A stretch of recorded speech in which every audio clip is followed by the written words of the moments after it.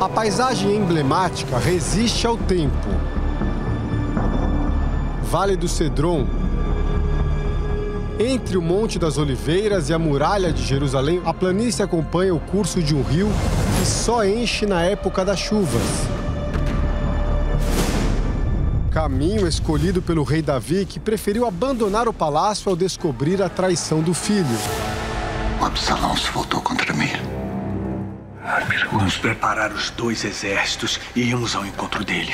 Eu não vou lutar contra o meu próprio filho, Joabe. Nós vamos embora de Jerusalém.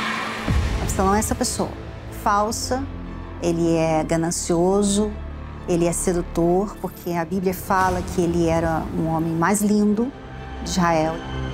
Então ele chamava muita atenção e ele aproveita isso para tomar o reino do pai. Como é bom estar de volta. As escrituras contam que ele foi ganhando o coração do povo de Israel. Todos aqueles que tinham desavenças, todos aqueles que se sentiam injustiçados chegavam a Absalão. Absalão tem um carisma muito grande, ele uh, conquista os descontentes de Israel. Pela grande honra de poder servir a minha nação e ao meu povo como rei.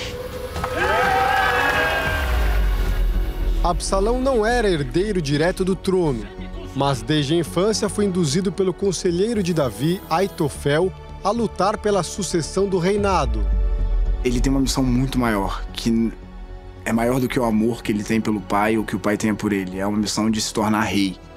Então por isso ele vai até as últimas consequências para tirar o trono de Davi, né? Ninguém é insubstituível. Na revolta contra o próprio pai, Absalão decide tomar Jerusalém. Ele e seu exército marcham até aqui a capital, mas não houve batalha, não houve derramamento de sangue, porque Davi jamais aceitou a ideia de enfrentar o próprio filho e por isso decidiu fugir para o deserto. Os especialistas bíblicos dizem que naquele momento, Davi mais uma vez demonstrava confiança absoluta em Deus.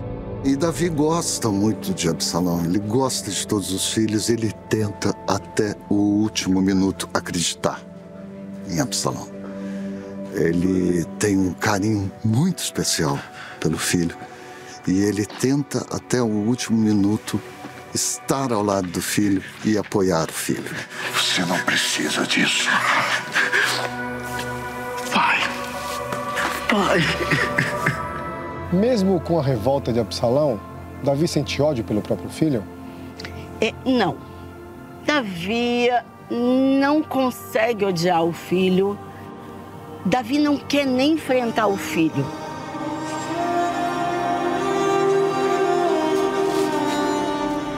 Mesmo assim, Absalão não desiste do confronto com o pai. Depois que ele está aqui em Jerusalém, ele também recebe o mau conselho que ele tem que agora matar o rei. Não só tomar o poder, como matar Davi. E junta um exército e vai enfrentar o exército de Davi.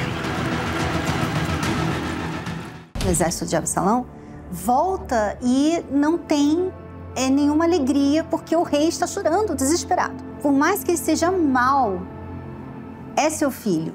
E você não quer o mal dele. Você não consegue querer o mal dele. Acho que a vaidade é uma coisa que. E o ego é algo que o Absalão tinha e que levou a ele à, à ruína, assim.